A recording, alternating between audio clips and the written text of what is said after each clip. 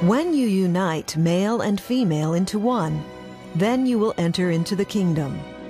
Humanity left Eden as a couple, and as a couple they must return.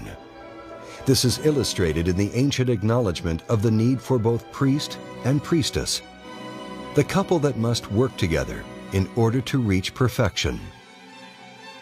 Couples that conquer the desire to eat the fruit of knowledge internally gather up all of that energy. And gradually that energy can be used to create something within. Rather than feeding their own lust, they can restore their own inner Eve, the fallen serpent. And from there, they may then raise the serpent of the Kundalini. They can illuminate the tree of life, which exists within the human body, the spinal column, and they can create divine light within themselves and return to the direct knowledge of their own inner God.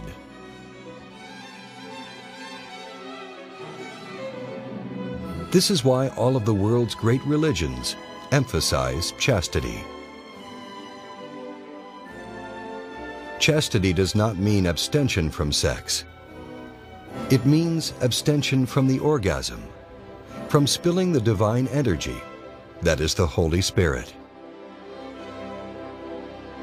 The sexual act performed in the usual way may give a slight notion of the nature of this higher consciousness.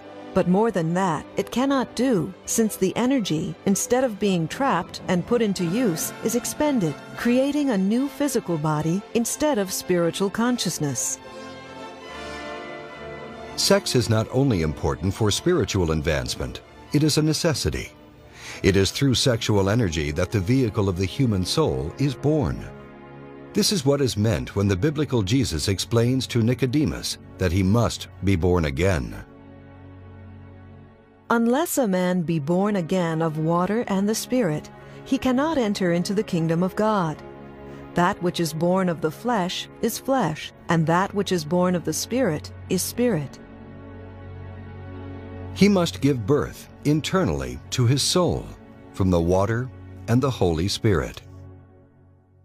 With patience ye shall possess thy souls. Jesus of Nazareth never said that the soul already exists within a man. Instead, he said it must be born of the water and the Spirit. In all of creation, everything is born of sex. Thus, the soul, the fiery chariot of heaven, must also be born of sex. The soul must be born within a person, born of the waters of sex and the fire of the Spirit. When Jesus met the Samaritan woman at the well, he told her of a water that gives eternal life. Whosoever drinketh of the water that I shall give him shall never thirst. But the water that I shall give him shall be in him a well of water springing up into everlasting life. The woman saith unto him, Sir, give me this water, that I may not thirst, nor come hither to draw. Jesus saith to her, Go, call thy husband, and come hither. He was prepared to tell her the secret of alchemy, the great arcanum. That secret, allegorized in countless ancient stories, is that the waters of eternal life, the fountain of youth, is developed between husband and wife in chastity. The woman answered and said, I have no husband. Jesus said unto her, Thou hast well said, I have no husband. For thou hast had five husbands, and he whom thou now hast is not thy husband. In that saidst thou truly.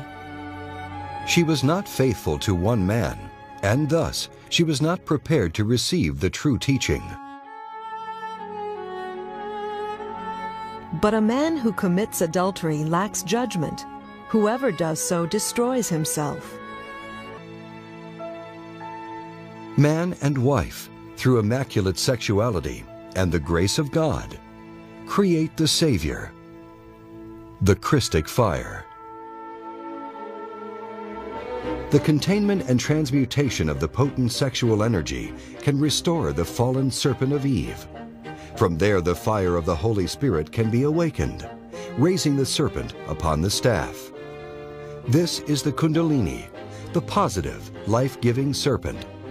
It can only be awakened through chastity and only by husband and wife.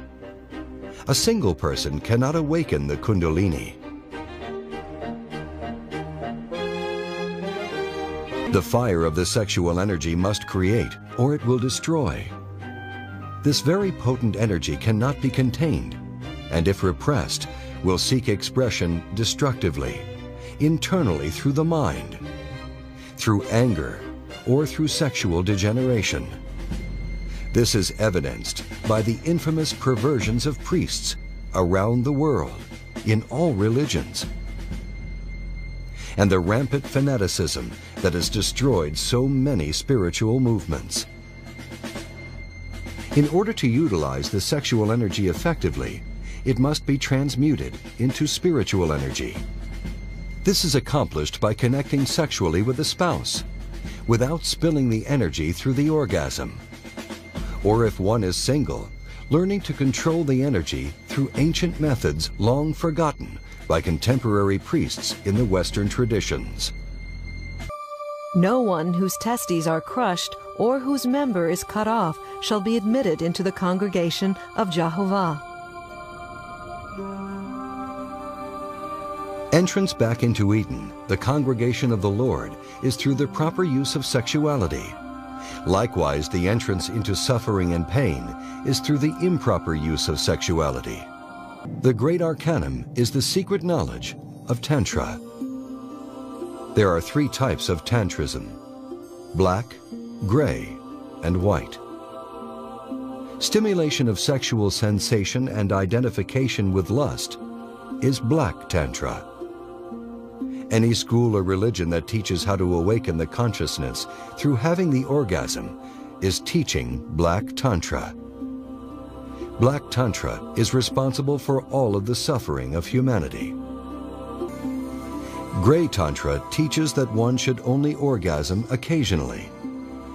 This teaching inevitably leads one to Black Tantra. White Tantra always teaches three factors. The elimination of desire, the creation of the soul, and sacrifice for others. All White Tantra teaches to renounce the orgasm.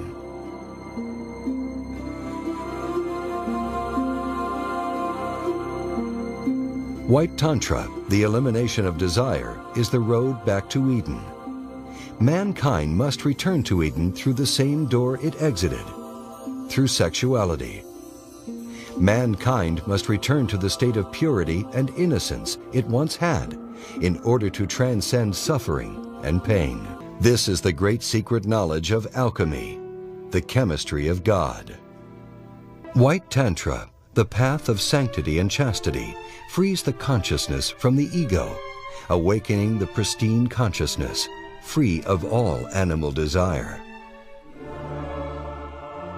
Black Tantra, the path of identification and fornication, awakens the consciousness that is trapped in the ego, leaving the soul trapped in suffering. To acquire true spiritual awakening, it is necessary to defy the tempting serpent and raise the fire of the Holy Spirit to create the human soul.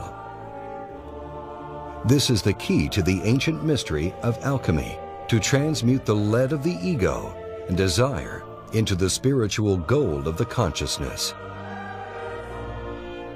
It is necessary to transcend the mind and awaken the consciousness. Light is necessary to see through the darkness.